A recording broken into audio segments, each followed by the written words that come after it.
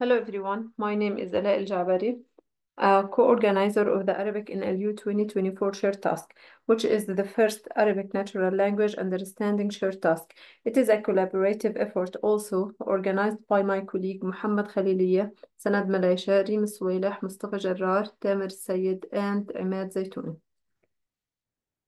Let me first mention that our team at SinaLab has developed several tools and datasets for Arabic natural language uh, processing.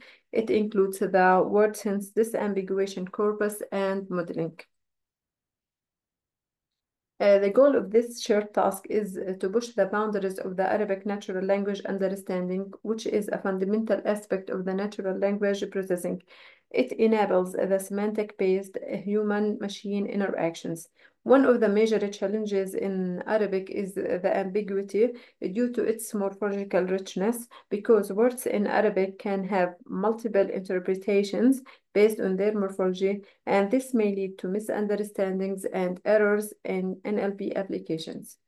To address this, we focus on two core NLU tasks, the word sense disambiguation and location mention disambiguation. For subtask 1, word sense disambiguation, or WSD in short, it is all about figuring out the correct meaning of ambiguous words based on their context. So imagine we have a sentence, a target word, and a set of possible meanings for that word. The task is to identify which meanings it uh, fits the context. For this, participants provided with Salma corpus, the first sense annotated corpus for Arabic. It includes 1,440 sentences and 34,000 tokens. Uh, the participants received a development set of 100 sentences and a test set of 1,340 sentences. Uh, to encourage innovation, no training datasets were shared. This to push participants to leverage generative model techniques and external resources. For subtask 2, location mention disambiguation, or LMD, it deals with accurately identifying location mentions in microblogs and linking them to the specific toponyms in geo-positioning datasets. This involves retrieving and ranking the candidate toponyms for each location mentioned in a post. For this task, we provided the Idrisi dataset, the first Arabic LMD dataset. It contained 2,869 posts from various dialects featuring 3,893 location mentions across seven countries. The dataset was split into 70% for training, 10% for development, and 20% for testing. This to ensure a fair evaluation across different disaster types and geographical areas. We received 38 registrations. Out of these registrations, only three teams managed to submit to the final evaluation phase three of them for the WSD task and two for the LMD subtask. And here is a summary for the participating systems.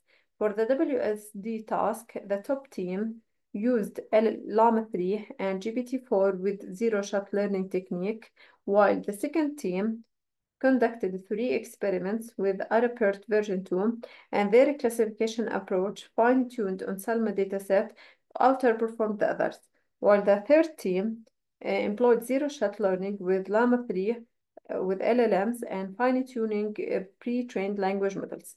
For the location mention disambiguation task, the top team translated location mentions into English using Llama 3 and then used GeoPy for toponym retrieval, while the second team used OpenStreetMap for retrieval and the Cohere for re-ranking. The results for the submitted models for the WSD subtask, uh, the highest accuracy achieved was 77.8%. Uh, however, none of the participants uh, surpassed our baseline, which have accuracy about 84.20%. And this uh, suggests that generative models, particularly in zero-shot settings, still fall short compared to encoder-based models fine-tuned in high-quality datasets.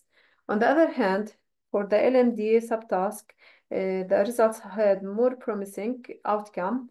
The uh, highest MRR achieved was 95% with both participating teams outperforming the baselines. Finally, uh, the findings from the participating teams highlight the ongoing challenges and research gaps associated with these subtasks. First, the, WSD and the LMD are indeed uh, challenging tasks, and there is a clear need for more data sets and uh, research in these areas. Additionally, Arabic dialects need to be better supported in both WSD and LMD tasks. We also observed that generative models underperformed compared to traditional classification architectures trained on label data. And finally, Arabic tailored LLMs might be necessary to improve performance. Thank you. If you have any questions, feel free to reach out to us.